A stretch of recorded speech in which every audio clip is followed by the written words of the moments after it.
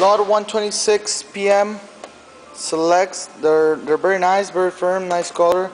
A little bit of scarring and misshape is the issues, but they're outstanding. No, I like them.